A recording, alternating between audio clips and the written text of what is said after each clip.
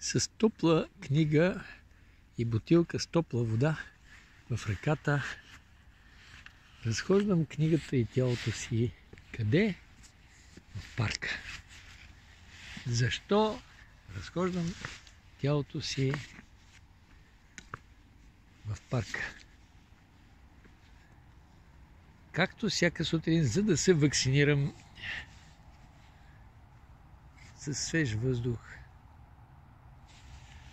с естествената красота на природата, в която няма нищо излишно.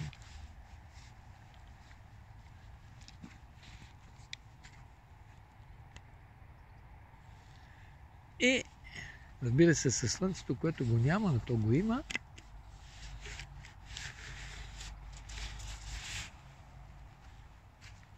и да се нагълтам със слънце, с добро настроение, да отпиеме топла водичка.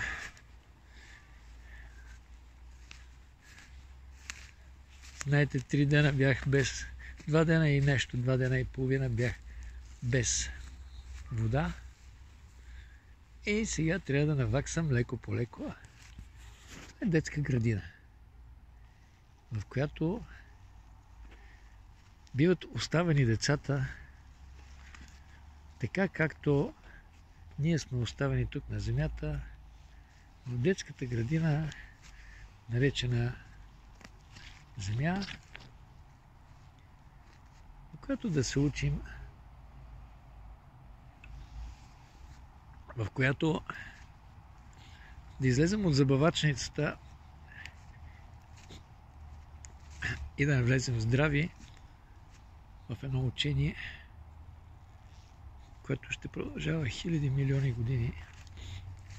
Учение как да очистим себе си, как да бъдем здрави, да очистим себе си от лошите неща, да очистим себе си от болестите, да очистим себе си от лъжата и да живеем като космически същества, които не желаят да се вакцинират които не са болни, защо здравия ще бъде вакциниран? Защо добрия ще бъде вакциниран, а добрия винаги е здрав? А здравия е добър. Говоря за истинско здраве. За здраве, което изключва всякаква болест. Здраве, което здраве, ра, ве, ра, слънце, ви, В. В. В е. Енергия. Здраве. Днеска ще си направя ангелска супа. Тя се прави и ще пия сока от ангелската супа като първи ден от захранването. И ще се радвам на вкуса на ангелската супа, на ангелите, които са ми направили супа. Растенията са деца на ангелите и на дяволите. Нали, сега, примерно, има растения, които не дават плод и те се разложават по друг начин.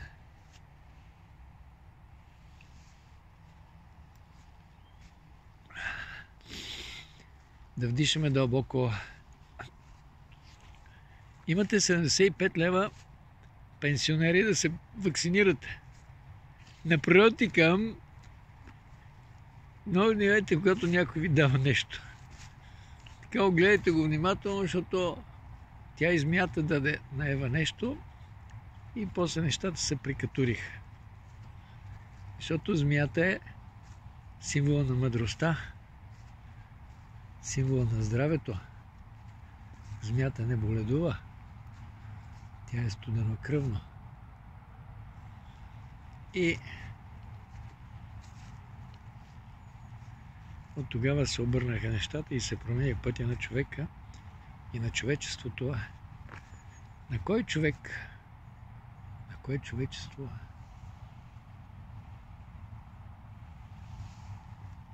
Защото Адам не е този човек, който Бог сътвори,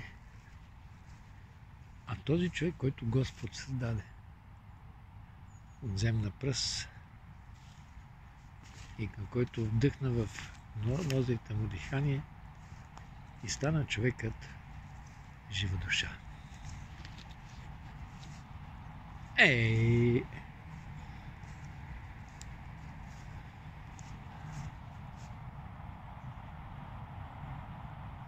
Виждате там колите. Е, няма значение дали ги виждате, вие ги чувате. Здраве! Благодаря ти за живота и здравето, което си ми дал. Изпрати ми духът си да ме пази и закрили от всяко зло и лукаво помишление. Зло и лукаво помишление? А, злите и лукавите помишления.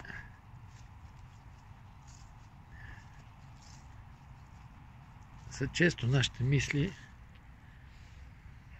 Гъбка, сритана, разпиляна, които ние не осъзнаваме, че сме, че са зли и лукави, но които ни моделират да правиме неща, които не трябва да правиме. И ето сега книгата оставаме тук за малко.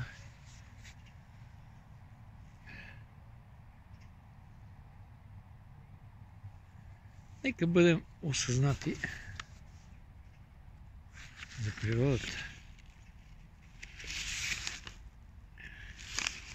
И трябва да бъдем осъзнати за самите себе си. И да попитаме кой съм аз. Ама не е необходимо да го правим вербално, устно.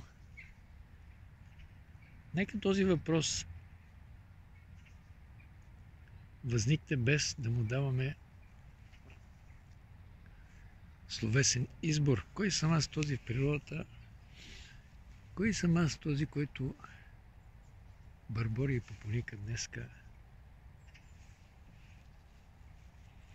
Замисляме ли се върху дишането? Не. Но аз се замислям. И дишането съществува така, както съществувам и аз. И този въпрос, кой съм аз, трябва постоянно, безмълвно да стои в мен, в теб.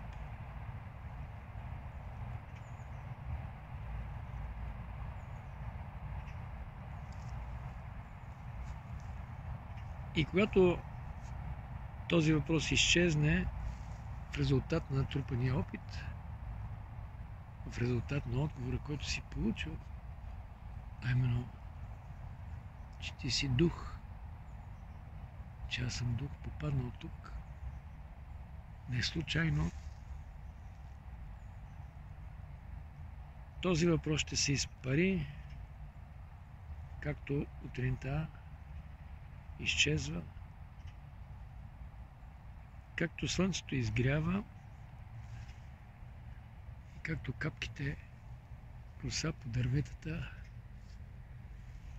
ще изчезнат,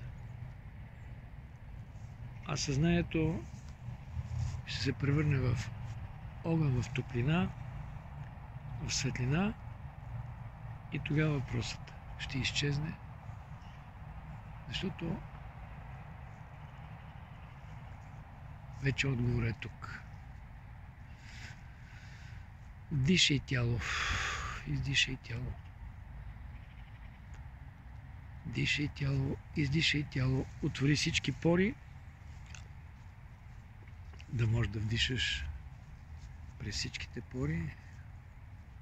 Изхвърли буклуците навънка.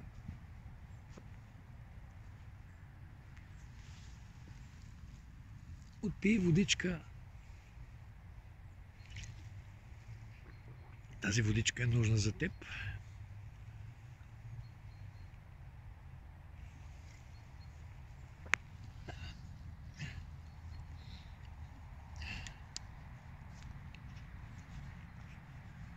Ненужни кестени.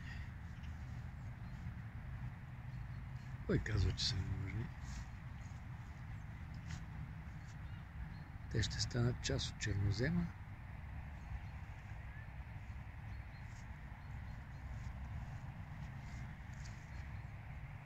Знаете пак, тази в супата си сложих брашно от кестен. Вижте какво право дърво и кестен. И вижте какво обилно и трайно дърво е. Ябълките са се скапали. Всички други плодове, зеленчуци, червенчуци, оставени тук се скапват но кестена е още траен, твърд. И той ще влезе в част от моите клетки, така при захранването ще вземе местата на изхвърлените клетки, на клетките, които съм се освободил и са се освободили от мене през тези 10 дена пост и молитва. Това с молитвата и казвам, че още не съм стигнал до положение.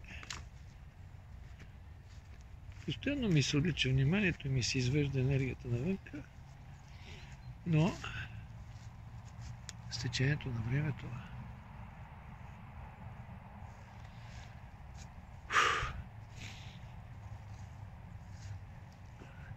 мислено отивам до слънцето, което не се вижда от тази мъгла, изкуствена, която вдишваме, изхвърля и тяло всичко това, което е нужно в мене, чуждо, всичко това, което ми дават от въздуха, те са самолетите.